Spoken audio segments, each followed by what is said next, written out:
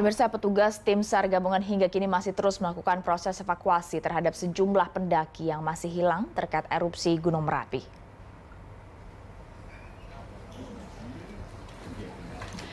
Hingga kini, tim SAR gabungan sudah melakukan proses evakuasi terhadap 11 orang yang diketahui meninggal dunia di atas Gunung Merapi. Sementara untuk 12 orang lainnya masih dalam tahap pencarian.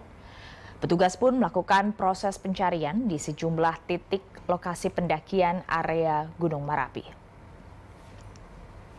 Tak hanya itu, polisi dari Polda Sumbar kini membuka posko antemortem yang berada di lokasi posko utama pencarian para pendaki yang hilang. Berdasarkan data terakhir, posko anti mortem sudah menerima laporan dari pihak keluarga korban. Ini ada sebanyak 20 orang, serta memberikan tanda dan ciri-ciri korban untuk memudahkan proses identifikasi. di VI itu disaster victim identifikasi yaitu mengidentifikasi korban jenazah uh, di mana nanti uh, kita buka dua posko yaitu posko antemortem dan posko postmortem.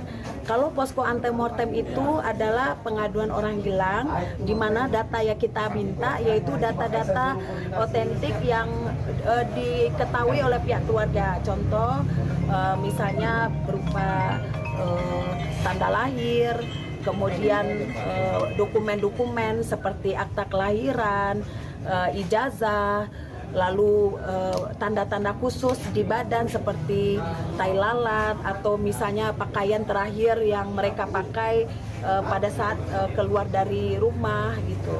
Sampai saat ini sudah berapa keluarga? Wah, yang... kalau oh yang sudah melapor. melapor. Kalau yang melapor udah kurang lebih 20 keluarga yang sudah melapor. Identifikasi untuk jenazah yang rusak yang nggak dikenali.